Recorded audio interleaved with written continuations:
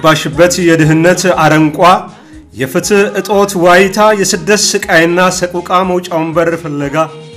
ሕዝቦችሽ ያለ ፍርሃትና ስጋት ያለ መሸማቀቅና ማጎብደድ በነፃነት የሚላወሱበት የፖለቲካ ምህዳር ቢፈጠር በሕዝቦች ፍቃድ በሚመሠረተው አዲሱ አገራዊ ቤት ቢኖረን ኢትዮጵያ ላንቺ ነው የተሰባሰበው።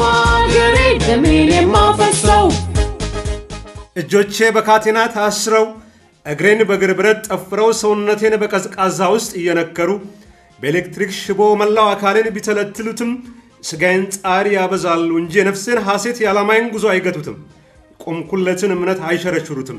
እማማዬ አካላዊ የመንቀሳቀስ ነፃነቴን አሳጥተው እንደ ከብት በግርግም ውስጥ አጉረው ከሰው እንዳልገናኝ ቢያደርጉኝም አንደበቴም ቢያፍኑትም በሚያስፈራው የእስረኞች ማሰቃያ ስፍራ በማዕከላዊ ግሮኖ በድቅድቁ ጨለማ ቤት ውስጥ ሆኜ አሁንም ስለ አንቺ ያልማለሁ። ኢትዮጵያ ለአንቺ ነው። ለአንቺ ነው ሀገሬ ደሜን የማፈሰው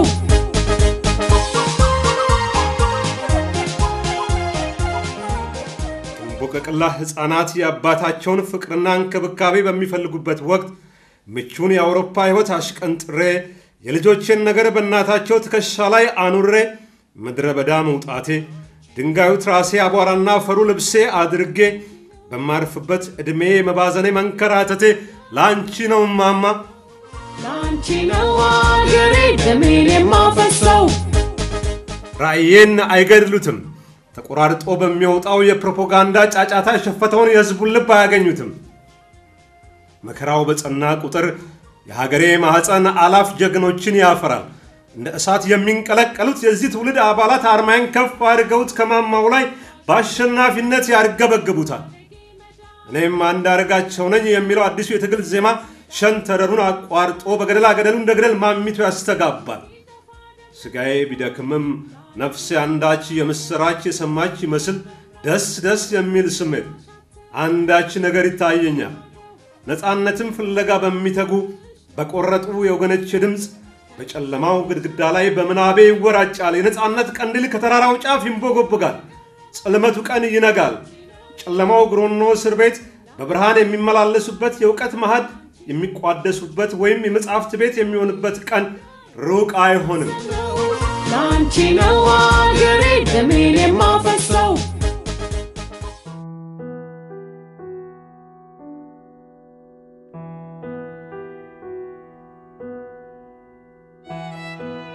አንዳርጋቸው ጽጌ ጥር 1 ቀን 1947 ዓ ም በአዲስ አበባ ከተማ ተወለደ። አንደኛ ደረጃና ከፍተኛ ሁለተኛ ደረጃ ትምህርቱን ካሳንችስ በሚገኘው ትንሣኤ ብርሃን እንዲሁም አስፋ ወሰን ትምህርት ቤት ተከታትሏል። የከፍተኛ ሁለተኛ ደረጃ ትምህርቱን በተፈሪ መኮንን ተምሮ በ1965 ዓ ም አዲስ አበባ ዩኒቨርሲቲ 5 ኪሎ በመግባት በ electrical engineering እስከ ሁለተኛ ዓመት በመማር በ1967 እስከ 1969 በተቀጣጠለው የለውጥ አየር እርሱም ተካፋይ በመሆን በወቅቱ በነበረው የደርግ ስርዓት የተለያዩ ስርዓቶችና ድብደባዎች ተፈጽሞበታል። በማዕከላዊ ወንጀል ምርመራ እስር ቤት ለአራት ወር ታስሯል። ከስርዓቱ በኋላም ትግሉን ለማገዝ አጋሮቹ ወደ መጡበት ወደ ትግራይ በረሃ ዘልቋል። የዛሬ ገዢዎቹ ወይም አሳሪዎቹ የዚያን ጊዜ ትግል አጋሮቹ ነበሩ። ትግራይ በረሃ ቆይቶም ለኢህአፓ ጓዶቹ ወደ ሱዳን ደብዳቤ ጽፎ መልስ ባለማግኘቱ በሱዳን በኩል ወደ እንግሊዝ አገር በመሄድ እስከ ደርግ ውድቀት ቆይቷል።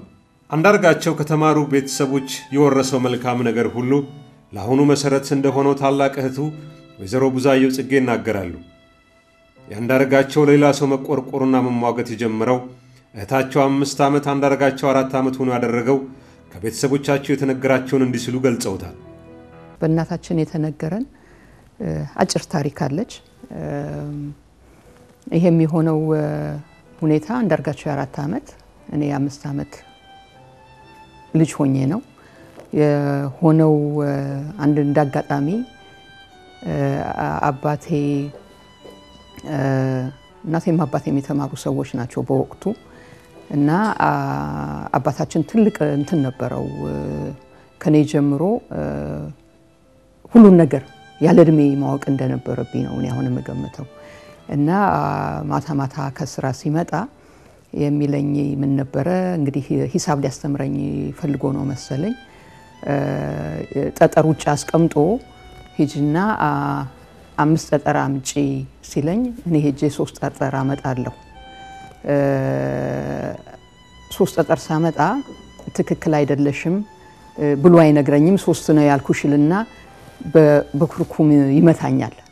አለቅሳለሁ። እምባዬንም ጠርጌና አድርቄ ሳልጨርስ ደግሞ ሂጅና አራት አምጪ ሲለኝ ሁለት አመጣለሁ። እናታችን እንዳወራችልኝ ይሄንን ታሪክ ብዙ ጊዜ ሄደ ነው የምትለው ቆይቷል እና መጨረሻ ላይ እንግዲህ አንዳርጋቸው አራት አመት ነው ዞር ብሎ የሚያየው የለም በትምህርት ሁኔታ ማለት ነው። እና አይቶ አይቶ አይቶ መጨረሻ ላይ ነገሩ ሰለቸው መሰለኝ እና አንድ ቀን ይነሳና አባቴን እንዴ ለምን ትመታታለህ? ብታቅ እኮ ታመጣልህ ነበረ። ስለማታቀው እኮ ነው እየተሳሳተች እየተሳሳተች የምታመጣው እና አትምታት ብሎ ያንን ድብደባ ያስቀረልኝ እሱ ነው ተብሎ ተነግሮኛል። ይህንንም አንዳርጋቸው የሚያውቃል። ሁልጊዜ የሚፎክርልብኝ ነበረ። ያንን ድብደባ እኮ ያስቀረሁልሽ እኔ ነኝ ብሎ እና የአንዳርጋቸው ምንድን ነው የሚያሳይ ይሄ ሰው ሲጨቆን፣ ሰው ሲያለቅስ፣ ወይ ሰው ሲመታ ወይም ያላግባቡ አንድ ነገር ሲሆን ለእኔ አሁን ቆም ብዬ ሳየው ከዛ እድሜ ጀምሮ ከአራት ዓመቱ ጀምሮ ይህን ነገር እንደማይወደውና እንደማይቀበለው ነው የሚያሳየው።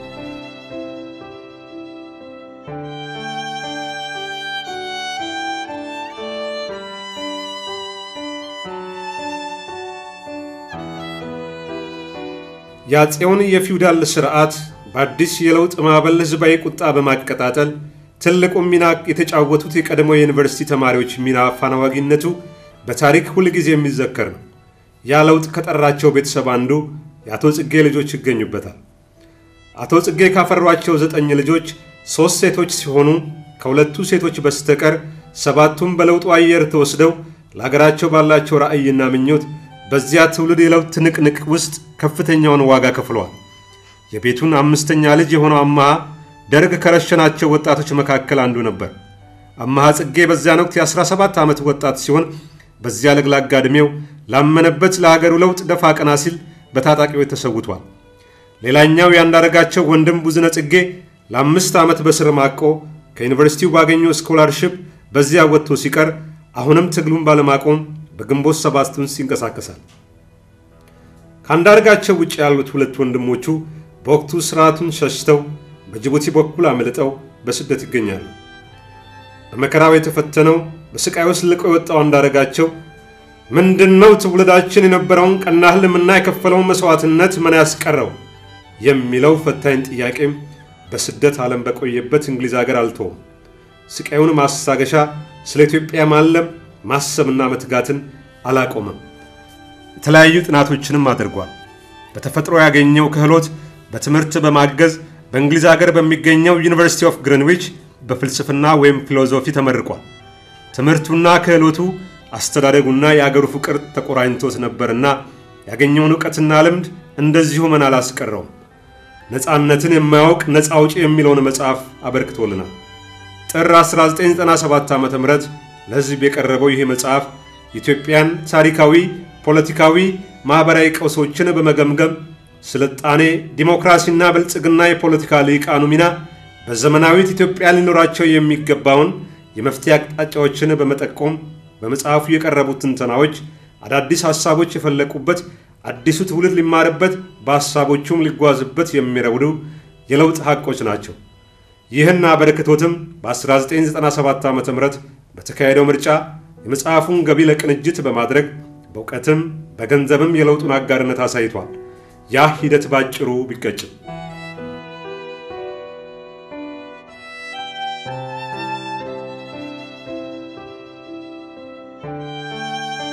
በኢህአፓ የተለኮሰው የዲሞክራሲ ጥያቄ በስደት በቆየበት እንግሊዝ ሀገርም አልቀዘቀዘም። ለሀገሪቱ ያለውን ህልምና የትንሣኤዋ ናፍቆት የሚወጣበት ጊዜ ደረሰ መሰለው።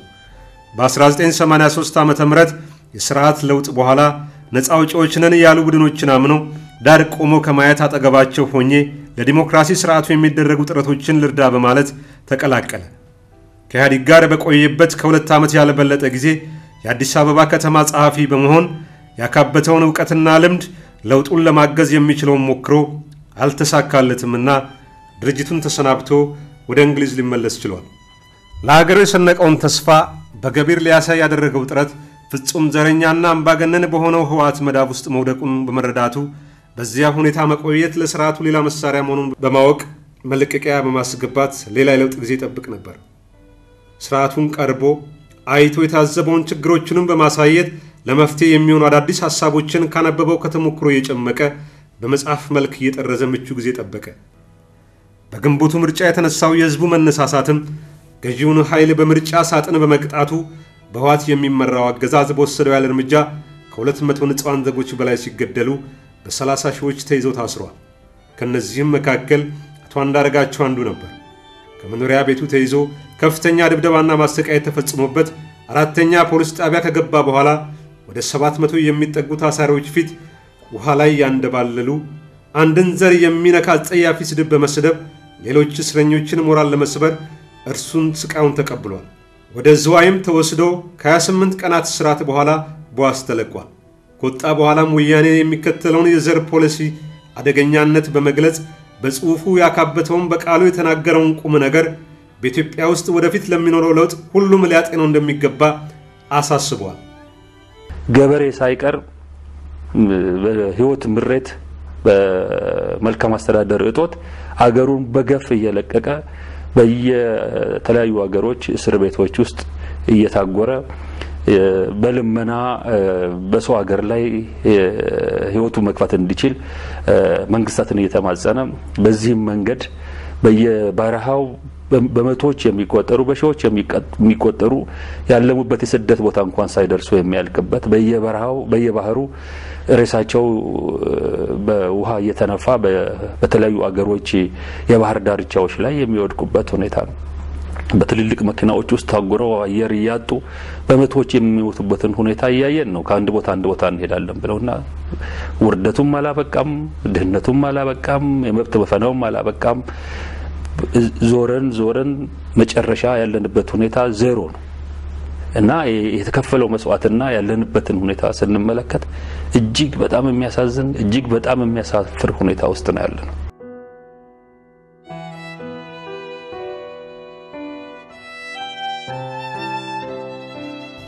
እነዚህ ሰዎች የሚፈጽሙትን ግፍና አበሳ ሆን ብለው ዘረኛ የሆነ ልባስ ይሰጡታል።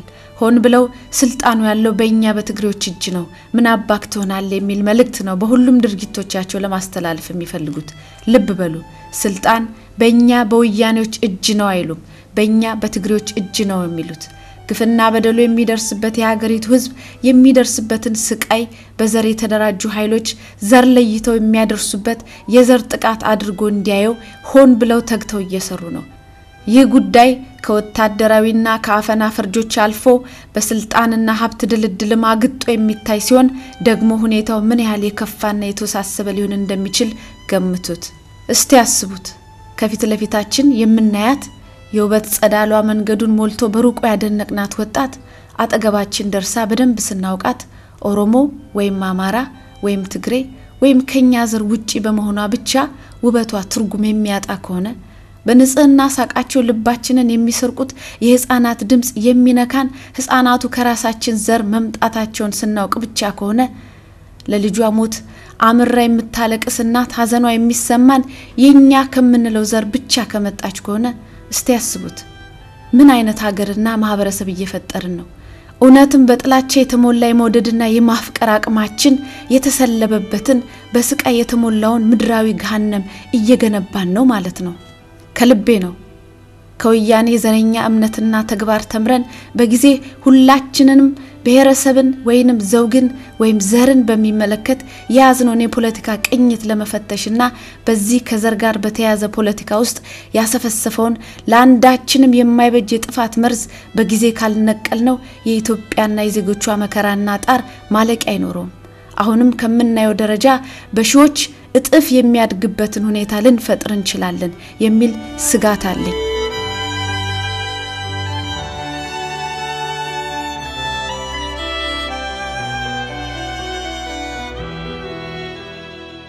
ዘርን መሰረት ያደረገው ዘውገኛነት ወይም ጎሰኛነት በሀገሪቱ ላይ የሚያስከትለውን አደጋ የእርሱን ተሞክሮ በማከል የመፍትሄ አቅጣጫዎችንም አሳይቷል። ፖለቲካውን በዚህ ደረጃ ስትመነዝረው አጥንትና ደም እያመጣ መመንዘር ስትጀምር ቅድም ያልከው ነገር ነው ይመጣ ያለው ለምን ትግራዋይ ኦሮሞ ምርድር ውስጥ እናያቸዋለን የሚል እንቅስቃሴ የማይቀር ነገር ነው። ለምን ቅድም እንዳልከው አማሮች እዚህ ምን ያደርጋሉ? መቶ ዓመት በላይ የኦሮሞ ክልል ውስጥ የኖሩ አማሮች አፋቸውን በኦሮምኛ የፈቱ አማርኛ መናገር የማይችሉ ነገር ግን መቶ ዓመት በፊት የመጡት ከጎንደር ወይ ከጎጃም ወይ ከሸዋ ነው በሚል የዛ ሀገር የኗሪነት መብት የሚነፍግ አይነት አመለካከት በህብረተሰብ ውስጥ እንዲሰራጭ ያደረገ ነው። ስለዚህ ይሄ ህዝቡን ከፋፍሎ ለመግዛት እና በስልጣን ላይ ለመቆየት በሚል የገፉት በዘር ላይ የተመሰረተ ህዝብን ከህዝብ የሚያቃቅር ስራ አገሪቷ ውስጥ የተቀበረ ትልቅ ፈንጂ እንደሆነ አድርጌ ነው የምመለከተው ያለው። ለህዝብ መረዳት ያለብን እነዚህ ቅድም ያነሳ ናቸው ራስን በራስ የማስተዳደር ሌሎቹ መብቶች በሙሉ ቋንቋን የመጠቀም ባህልን የማሳደግ መብቶችና ፖለቲካን ዘርና አጥንት እየቆጠሩ የማደራጀትና በዛ እምነት የመግፋት ነገር ሁለቱ አይገናኙም ያለው። እንደዛ ሳናደርግ የብሔር ብሔረሰቦችን መብት ማስከበር ይቻላል። ጥንቃቄ ማድረግ ያለብን ወደፊትም ቢሆን እነዚህን መብቶች ከዘር ጋር ማያያዝ የለብንም፣ ከደምና ከአጥንት ቆጠራ ጋር ማያያዝ የለብንም እና ወያኔ ግን ያደረገው ይሄንን ነው። እሱ ብዙ ሰዎች ላይ ኢትዮጵያ ውስጥ ካሉ ካወቅኳቸው ሰዎች ከሚለዩበት ነገር አንዱ በብዙ ብዙ ነገሮች ባላንስ ያደረገ ነው። በንድፈ ሀሳብ በእውቀት ላይ ያለው የሚያሳድረው እንትኖቹ ጊዜውን የሚያጠፋበት ያለው የግንዛቤ ጥልቀት ከፍተኛ ነው። ከዛም አልፎ በተግባር ላይ የሚያደርጋቸው ነገሮች ደግሞ እንደዚሁ ናቸው እና የሚያምንባቸው ነገሮች ለማድረግ የሚደፍር ነገር ነው። የሚደፍር ሰው መሆኑ በጣም ይገርመኛል።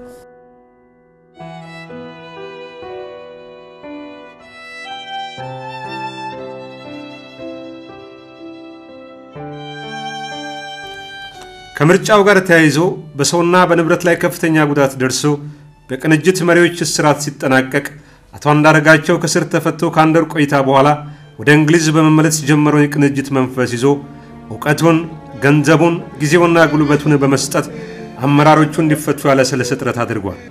የውጭውንም እንቅስቃሴ ምራት ከፍተኛውን ሚና ተጫውቷል። ከአውሮፓ ፓርላማ እስከ ጋና የአፍሪካ መሪዎች ስብሰባ ተጉዟል። ከአሜሪካ እስከ አውሮፓ ተመላልሷል። ከአውሮፓ ተወካይ አና ጎሜዝ፣ የአሜሪካ ውጭ ጉዳይ መስሪያ ቤት ኃላፊዎች፣ የቢቢሲ አልጀዚራ ሰዎች ጋር መረጃ በመለዋወጥ በስር ለነበሩት የቅንጅት አመራሮች ደጀንነቱን በስራው አሳይቷል።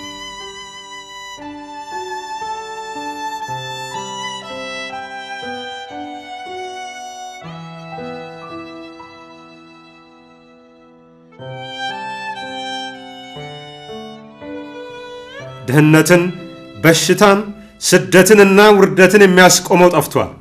በፍትህ በመብትና በጥሩ አስተዳደር ናፍቆት ብቻ አገር እየሞተ ነው። ያስጨነቀኝ ጉዳይ ይህ ለምን እየሆነ ነው የሚለው የአንዳርጋቸው የህዝብ ጥያቄ አልተመለሰም። የቅንጅት መንፈስም ከአመራሮቹ መፈታት በኋላ አልቀጠለም። በሀገር ቤት ሁሉም መንገዶች ተዘጉ። ጋዜጠኞች፣ የሰብአዊ መብት ተሟጋቾች፣ የፖለቲካ ድርጅት አመራርና አባላት ተሰደዱ። የተቀሩትም በግዙፉ እስር ቤት አካላዊ የመንቀሳቀስ ነፃነት ቢኖራቸውም የመናገር የመጻፍና የመደራጀት መብቶች በገዢው ኃይል በመዳፈናቸው አንዳርጋቸው ሌላ ትግል፣ ሌላ ሩጫ ከጓደኞቹ ጋር ጀመረ።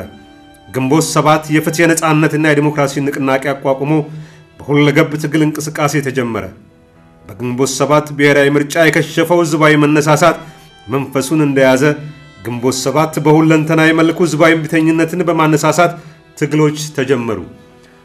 እንቅስቃሴው ፍርሃት የለቀቀበት ገዢው ኃይል አምስት ድርጅቶችን በተወካዮች ምክር ቤት አሸባሪ በማለት ሽብርተኝነትን ህግ በማጽደቅ ልዩ ልዩ ወከባዎችን ጀመረ። ፓርቲውን በአሸባሪነት ተፈርጆ ሰበብ እየተፈለጉ የሚታገሩ ዜጎች በረከቱ።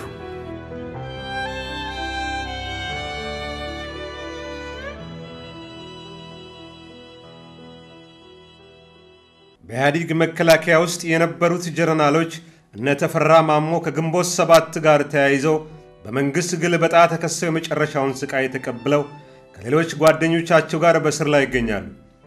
ያ ዕጣም ወደ አንዳርጋቸው ጽጌ ቤተሰብ ዞረው የአንዳርጋቸው አባት አቶ ጽጌ ከጀነራሎቹ ጋር ሚያዝያ 16 ቀን 2001 ዓ ም ተያዙ። ከነ ጀኔራል ተፈራ ማሞ ጋር አምስተኛ ተከሳሽ ሆነው በእስር ማቀቁ። የ80 ዓመቱ አዛውንት ያንዳርጋቸው አባት ብቻ ስለሆነው ማዕከላዊ ወርደው ተሰቃዩ። ስኳር በሽተኛው፣ የደም ግፊት ህመምተኛው፣ በወቅቱም የአይን ኦፕራሲዮን ያደረጉት እኚህ አዛውንት ሁለት ዓመት ከስድስት ወር እስራት በኋላ የይቅርታ ደብዳቤ ጽፈው ከእስራት ሊለቀቁ ችለዋል። በዚያ ክስ ያንዳርጋቸው ሀብትና ንብረት እንዲወረስ ተወስኖ በአቶ ጽጌ ግቢ የሚገኘው ባለ አራት ክፍል ቤቱ በካንጋሮ ፍርድ ቤት ታግዶ ኦና ቤት ሆኗል። ሦስት ሕፃናት አንዱ የ14 ዓመት ሁለቱ ሴትና ወንድ መንትያዎች በሰባት ዓመት ዕድሜያቸው ተለይቷቸው እነርሱ በአባት ናፍቆት እርሱ በልጆች ስስት ለዚችው አገር ይቃትታል። ከአንዳርጋቸው እስራት በኋላ የሰባት ዓመቷ ታዳጊ ሕፃን በተበሳጨች ቁጥር አባቴን አምጡ ለሚለው ጥሪዋ ምላሽ አላገኘችም። አንዳርጋቸው በምድረ በዳ ውስጥ በዚች በምታዩት የመተኛ ምንጣፍ ኩርምት ብሎ ብዙ ሌሊቶችን አሳልፏል። በጎረባጣው ኮረብታዎች ታች ላይ ወርዷል። ራሱ አብስሎ ሌሎቹን አስተናግዷል፣ አስተምሯል፣ አነቃቅቷል፣ አደራጅቷል።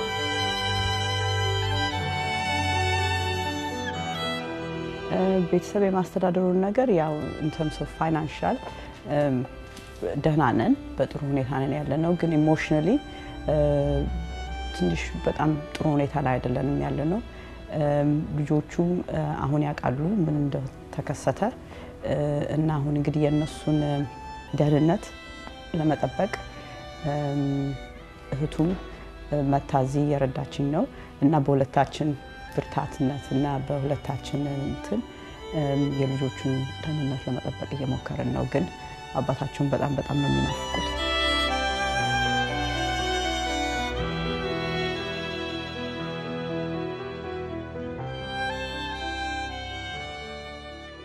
በገጠር ውስጥ በረሃዎች ውስጥ አብረ ለተወሰነ ጊዜ በቆየሁባቸው ጊዜዎች ደግሞ ሌላ የሚገርም አይነት አንዳርጋቸው ነው የምታዩት። በጣም ሌሊት ተነስቶ በሌሊት ተነስቶ ስፖርት የሚሰራ ተራራ ሲወጣ ሲወርድ፣ ሌሎች ሰዎች ሁሉ የሚከብድ የሚባለውን ስራ ሲሰራ ሲሸከም ሲቆፍር እና እንደዛም ሆኖ ደግሞ ሲያነብ ስታዩ በብዙ ነገሮች ውስጥ የሚታይና ብዙ ነገሮች በቃ እኔ የሚሰራቸው ነገሮችን ብዙ ጊዜ ይሄን ስሩ አይልም። ለምሳሌ ለሰዎችም ሲናገሩ ይሄን አድርጉ፣ ይሄ ነገር መደረግ አለበት ብሎ ብዙ ጊዜ አይናገርም። ራሱ ይጀምረዋል እና ሌላው ሰው አጠገቡ ያለው ሰው ያሳፍረዋል። እሱ ሲያደርገው እየታየ ሌላው ሰው አድርግም ባይባል እንዲያደርግ ያሳፍረዋል እና ይሄንን በአርአያነት መምራትን አንድ መሪ ከተመሪዎቹ ጋር ራሱን እኩል አድርጎ ተመሪዎችን በአርአያ ሆኖ የመምራትን ልምድ ያስጨበጠ ሰው ነው ብዬ አስባለሁ።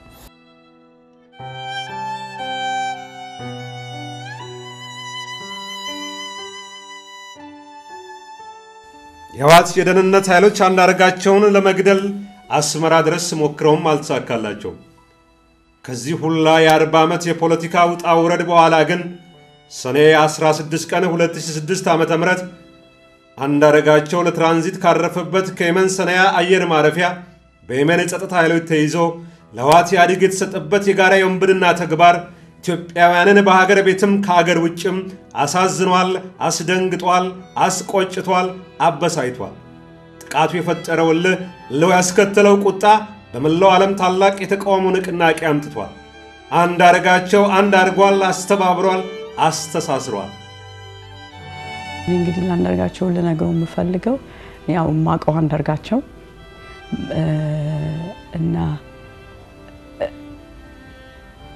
ያ ማቀው አንዳርጋቸው ስለ ያለው ጊኖ ታሪኮች ያለው በጭንቅላት ውስጥ ብዙ የሚሄዱ ሀሳቦች አሉ። እና እሱ ብቻውን እንደዚህ ሶሊተሪ ሆኖ ብቻውን በተቀመጠበት ጊዜ እነኛን ነገሮች እያሰበ እንደሚጽናና ተስፋ አለኝ ብዬ ነው ማምነው እና በዛ ነው እንግዲህ የምተማመነው። ራሱን ጠብቆ እና ህልውናውን የራሱን ህልውና የሚጠብቅበት ብዙ ዘዴዎች የራሱ ዘዴዎች እና መፍትሄዎች ይኖሩታል ብዬ ነው የማስበው። እና እሱ እንደሱ አይነት የመንፈስ ጥንካሬ እንደሚያድርበት በጣም ተስፋ አለኝ ብዬ ነው። እና ያንን ነው እንግዲህ I hope እንደሱ አይነት ነገሮች ስለ ራሱ ታሪኮች፣ ስለ አያቱ፣ ስለ ቅድመ አያቱ ያሉት ታሪኮች ለልጆቹ ሲናገሩ የነበሩትን እሱን reference ማድረግ የሚችልበት ከዛም ደግሞ የቆመለትም አላማ እንደዚሁ በቀላሉ እንደማይቋረጥ እምነት እንዳለው ተስፋ አለኝ። እና እሱን ደግሞ እኛም ደግሞ ለሱ የሚደረገውን በሙሉ ወደ ኋላ እንደማንል ሆፕ ሂኖስት እና እንደሚያውቀው እና ልጆቹም ምን ያህል እንደሚናፍቁት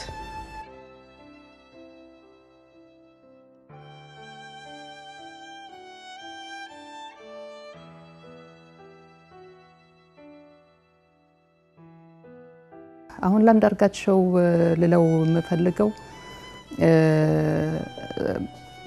ያለበት ሁኔታ መጥፎ ሁኔታ ነው ብዬ ነው የምገምተው።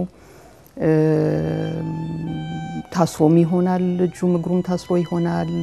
በማቀው ባለኝ በአባቴ በታሰረበት ጊዜ ከነበርኳቸው ከግንቦት ሰባት ከሰማኋቸው ታሪኮች ጨለማ ውስጥም ሊሆን ይችላል፣ እጁና እግሩም ታስሮ ሊሆን ይችላል፣ ቀንና ሌሊቱንም የማይለይበት ሁኔታ ሊሆን ይችላል ያለው እና በመንፈሳዊ መልኩ የሚሰማኝ ቢሆን ለው የምፈልገው ራስክን ጠንካራ አድርግ፣ ጠንካራ ሰው ነህ፣ ራስክን ጠንካራ አድርግ፣ ልጆችህን አስብ፣ ቤተሰብህን አስብ፣ እስካሁን የታገልክበትንም ትግል አስብ፣ የኢትዮጵያንም ሕዝብ አስብና ይሄ ያንን ጨለማ ቀን ያደርግልሃል፣ ያለህበትን ጨለማ ቀን ያደርግልሃል። ወደ ኋላ ሄደህ ያለፍክበትን ህይወትክን በሙሉ አስበው እና በዚህ መንገዱ ራስክን busy እያደረግ ወደፊትና ወደ ብርሃን ለመምጣት አስብ ነው የምለው። በተለይ አይኖ ልጆቹ በጣም ይወዳቸዋል። ለልጆቹ ለልጆቹ ህይወቱን ማቆም አለበት። ለልጆቹ ጤነኛ መሆን አለበት። ልጆቹ በጣም ሲበዛ ይፈልጉታል እና ለልጆች ስትል ጠንካራ ሁን ነው የምለው። አንዳንዶቹ ትንንሽ ነገሮች ምናልባት ብናገር ለብዙ ሰው ዋጋ ያለው ላይመስል ይችል ይሆናል፣ ግን ለእኔ ትልቅ ዋጋ አላቸው። ለምሳሌ ተሰብስቦ ሰው በሚበላበት ጊዜ፣ አንድ ማዕድ ቀርቦ በሚበላበት ጊዜ ብዙውን ጊዜ ሌሎች ሰዎች ትንሽ እስኪበሉ ድረስ ይቆያል እና ይሄ ቀላል ነገር ይመስል ይሆናል፣ ግን አይደለም። ወይም ውሃ እንኳን ባነሰበት ጊዜ ብዙውን ጊዜ እሱ ውሃውን አይጠጣም እና ሌሎች ሰዎች ጠጡ ምናምን ነገር ይላል። ትናንሽ የሚመስሉ ግን በአንዳንድ ቦታ ላይ ትልቅ የሆነ ራስን የመገደብ ችሎታው እና ራስን ለራሱ ለሌሎች ቅድሚያ መስጠትን ጥሩ የሚባለውን ነገር ትንሽም ይሁን ትልቅም ይሁን ማለት ነው እና ለሌሎች ቅድሚያ የመስጠትን ነገር በጣም ከሱ የተማርኩት ነገር ነው ብዬ አስባለሁ። አሁንም ከሱ ለመማር ፈልጋለሁ እና ትልቅ ሰዋችን ነው። ለእኛ አይደለም፣ ለግንቦት ሰባት አይደለም፣ እሱ ለኢትዮጵያ ከዛም አልፎ ደግሞ ራሱ በአጠቃላይ በሰው ልጆች ውስጥ ያለ ምርጥ ሰው ይባላል። ይሄ አንድ መልካም ሰው አንድ በቅርበት ጀምራለ በጎ ሰው የሚሉት ነገር ልክ እንደዛ በጎ ሰው መልካም ሰው የሚባል አይነት ሰው ነው። እኔ መቼም አንዳርጋቸው ይህን መልእክት ይሰማል ብዬ ላስብ። አንዳንድ ጊዜ አይሰሙም የሚባሉ መልእክቶች በጣም ይሰማሉ እና የመሰማት እድል አለው ብዬ ላስብ እፈልጋለሁ እና አሁን አንዳርጋቸው እንደራስህ ልነግርህ እፈልጋለሁ። መቼም ቢሆን ከአእምሮ የምትወጣ ሰው አይደለህም። ሁሌ ስለአንተ እያሰብኩ ያለሁት እና እስክትፈታ ድረስ የሚቻለኝን ሁሉ አድርጋለሁ እና ይሄ ቢያንስ ያሳየኸኝ መንገዶች ለመከተል በጣም ጥረት አደርጋለሁ። እና ከጎንህ ነኝ። ብዙዎቻችን፣ ሁሉም ሰው በርካታ የኢትዮጵያ ሰው በአንተ መያዝ በአንተ ላይ በደረሰ ሁሉ እጅግ እጅግ ልቡ የቆሰለ መሆኑን እንድታውቅ እፈልጋለሁ። እና ከከፈልከው መስዋዕትነት ዋጋ ያለው መሆኑ እንዲሰማ እፈልጋለሁ። ይሄ ትልቅ ዋጋ ያለው ነው። እንደው የማይታወቅ እንዳይመስልህ፣ ሰዎች የማይሰማቸው እንዳይመስልህ። በጣም ብዙ ሰው ነው የታመመው። በጣም ብዙ ሰው ነው የቆሰለው እና ብዙ ሰው ነው የተነሳሳው እና የከፈልከው መስዋዕትነት ዋጋ አለው። ለኢትዮጵያ ትልቅ ትልቅ ትልቅ ነገር ነው ውጤት የሚያመጣው እና በዚህ ቢያንስ ህመም ላይ ብትሆንም እንኳን ህመሙን በዚህ ቻለው። የጀግና ደም የነፃነት ዛፍ ስር ነው። ለነፃነታችን የመጨረሻውን ዋጋ ከፍሏል። የዘራውን ፍሬ ሲያቆጠቁጥ ሲጎመራ በዚህ ትውልድ በጉልህ ይንጸባረቃል። አንድ አደጋቸው አንድ አድርጎናል የሚለው የጋራ ትግል ጥሪ የባርነትን ቀንበር ለማንሳት አንዳች ኃይል ሆኗል። ጀግና ይወለዳል እንጂ አይሞትም። አንዱ ለሁሉም ተሰውቷል፣ ሁሉም ለአንዱ ይቆማል። አደጋቸው ህልም ኢትዮጵያን በክብር ለዘላለም የሚያኖራት አዲሱን ትውልድ በማይናወጸው የዲሞክራሲና የፍትህ እኩልነት እንዲሁም የሰው ልጆች መብት የሚከበርባት የታፈረችና የተከበረች ሉዓላዊት ኢትዮጵያን በክብርና በኩራት ያኖራታል።